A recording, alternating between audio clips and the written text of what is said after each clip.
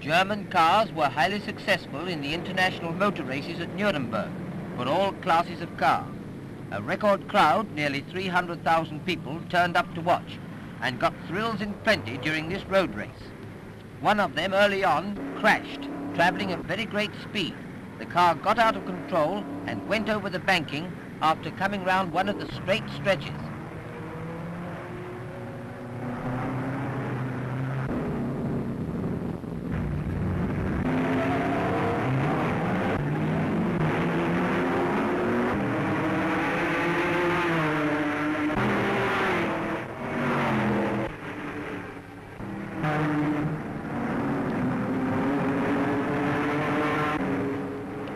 In the big car class, the Mercedes-Benz swept the field, but the Italian make of Maserati was successful in the small car class.